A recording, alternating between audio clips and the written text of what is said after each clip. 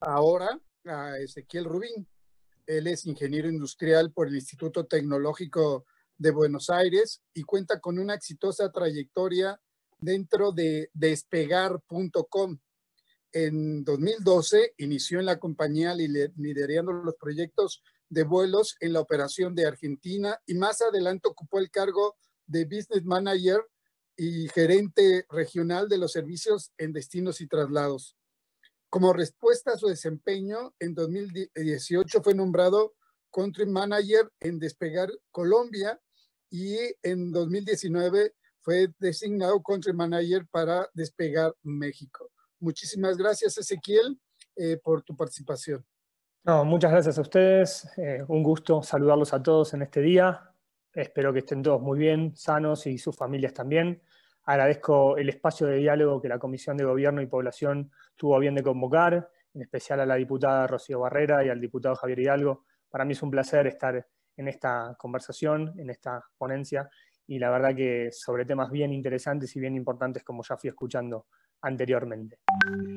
Para, para nosotros como despegar, siempre la seguridad en el e-commerce ha sido uno de los puntos fundamentales a la hora de transaccionar y de poder brindar servicio al cliente. ¿no? Como bien se mencionaba anteriormente, todos los usuarios sienten ese temor, México no es la excepción y la tendencia regional que vemos es justamente el incremento de estos fraudes electrónicos.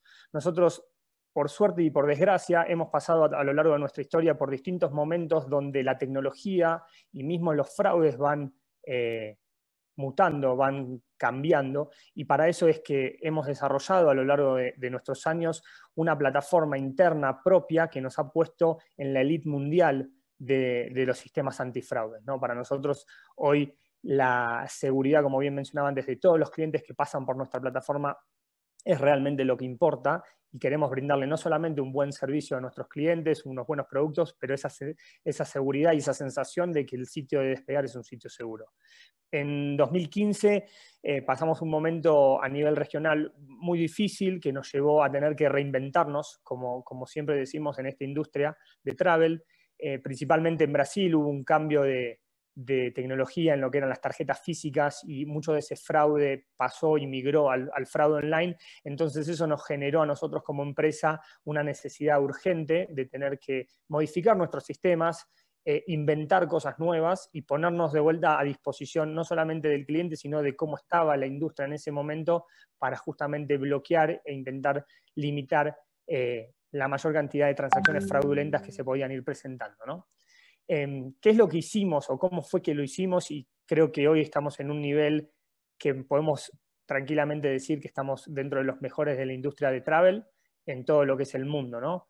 Nosotros tuvimos que dedicar mucho esfuerzo, mucho dinero, mucho desarrollo, principalmente en, la parte de plataforma eh, de equipos de IT que desarrollaron desde cero una plataforma antifraude que hoy es operada por Despegar y que también brinda servicios a distintos proveedores de la industria. Em, ¿Cómo hicimos esto? De vuelta, eh, tuvo que ver mucho con, el foco que le puso la empresa a esta plataforma. Es una plataforma que, en primer lugar, está conectada con los best in class de la industria, Emailage, ThreatMatrix, Acertify, CyberSource, todos estos proveedores que ya existen en la industria se nutren y nutren a nuestra plataforma de la misma información. Entonces, uno de los puntos siempre claves en esto, de lo que es el, robo de identidad y la seguridad en el e-commerce es poder entre las plataformas y entre los servicios que existen a nivel mundial, poder compartir la información justamente para ir blindando a estos eh, sitios web y a estos fraudes de cada una de estas páginas. En, segundo lugar, y creo que es uno de los avances más grandes que hubo eh, en la industria de tecnología, pero enfocada en travel, quiero creer o, puedo decir que fuimos uno de los pocos que lo implementamos, es toda la implementación de un equipo de data science dedicado exclusivamente a la prevención, a, la prevención perdón, de fraude con muchos algoritmos de Machine Learning. Como bien sabrán ustedes, todos nuestros clientes navegan por nuestro sitio, navegan por las distintas páginas y por las distintas plataformas, entonces nosotros podemos ir aprendiendo de distintas eh, gestiones o de distintas formas que se van manejando en nuestro sitio y con Machine Learning por detrás y con muchos data scientists que, pertenecen a nuestra empresa y que tenemos un equipo desarrollado exclusivamente para el fraude, vamos aprendiendo las distintas técnicas o los distintos movimientos que pueden hacer estos usuarios fraudulentos y sobre eso mismo el mismo sistema va aprendiendo, ¿no? Y creo que eso es, creo, una de las partes fundamentales de por qué hemos sido tan exitosos en poder eh, evitar estos fraudes y mantener tasas realmente muy bajas. Por último, es conocer el comportamiento de nuestros clientes frecuentes. ¿no? Es, es una plataforma que tiene alrededor de 160 millones de visitas al año cuando solamente se viaja en Latinoamérica 80 millones de viajes. Entonces sabemos que mucha gente usa la plataforma de despegar como una plataforma de, búsqueda y de, resultados. Entonces tenemos muchos clientes que frecuentan mucho la página y las distintas eh, los distintos momentos de la navegación, el distinto flujo, y sobre eso es como vamos nosotros aprendiendo y tomando en cuenta estos algoritmos para nuestro propio sistema antifraude. Em, todo esto de alguna manera se conjuga o termina siendo muy importante si hay una alerta temprana de todas estas transacciones fraudulentas o de todos estos movimientos fraudulentos. Ahí es donde estamos muy en conexión con, los bancos de cada uno de los países. Principalmente en México hemos visto que los niveles de, aclaraciones que tienen los bancos y los niveles de fraudes que tienen los bancos ponen al cliente en una situación mucho más sencilla de poder desconocer algún cargo. Entonces nosotros trabajamos conjuntamente con los bancos más importantes del país para tempranamente poder alertar tanto de nuestro lado hacia ellos como de ellos a nosotros y poder revisar esas transacciones manualmente mediante nuestra plataforma en los detalles donde pueden llegar a ver estos clientes fraudulentos o quizás clientes que han sido eh, sustraídos de su identidad online, digital, y están utilizando sus tarjetas o sus, sus identidades para poder hacer estas compras.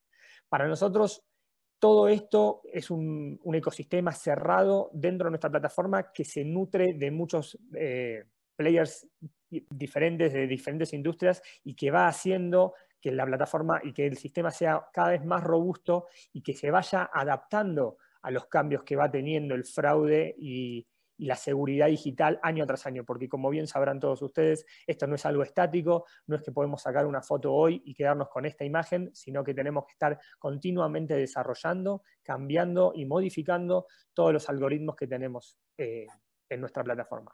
Para nosotros la seguridad de, los clientes es algo fundamental, tenemos los mejores estándares de, la industria y compartimos estos estándares con todos los players locales en cada uno de los países donde estamos presentes y México, por supuesto, no es la excepción.